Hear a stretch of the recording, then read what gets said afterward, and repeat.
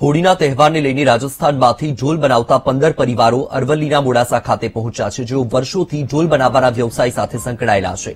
આ પરિવારે દર વર્ષે હોળીના પર્વ પર મોડાસામાં ઢોલ વેચવા માટે આવી પહોંચે છે, કારણ કે અરવલ્લી જિલ્લા સહિતના જિલ્લાઓમાં આદિવાસી સમાજમાં હોળીનો તહેવાર હર્ષોલ્લાસ સાથે મનાવવામાં આવે છે અને અહીં લોકો ઢોલના તાલે હોળી રમે છે, જેથી હોળીના તહેવારમાં ઢોલની માંગ વધી જાય છે. આ ઢોલનું વેચાણ કરી જ આ પરિવારોનું ગુજરાન ચાલતું હોય છે.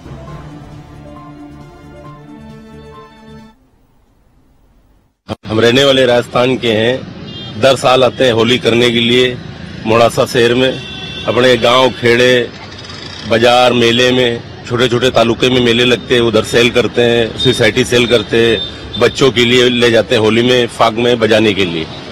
दस दिन या पंद्रह दिन रहते हैं, अपने चले जाते अपने गाँव राजस्थान, जयपुर चले जाते टोटल राजस्थान जयपुर के रहने वाले हैं अगल अगल सोसाइटी अगल अगल कॉलोनी के हैं। है एक ही साइड के, मगर सब एक ही अगल अगल सोसाइटी के हैं।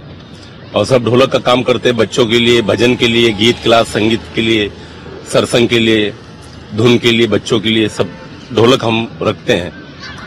और मेघरेज चौकड़ी के पास पड़े हुए हैं। हम ये खानदानी ढोलक का काम है हमारा। होली में आते हैं, हर साल धंधा करने के लिए यहाँ। अभी इस टाइम तो धंधा चल नहीं रहा, मगर देखो अब सात तारीख से धंधा अगर चला तो सही है।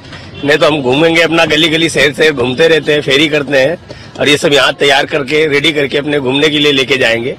कहीं मेला लग गया तो मेले पे निकल जाते हैं, कहीं सिटी घूमते हैं, गावड़ा घूमते हैं, सब घूमते रहते हैं हम लोग। और हर साल खानदानी धंधा है हमारा ये। और हर साल यही धंधा करते हैं हम लोग। और हर साल आते हैं इधर।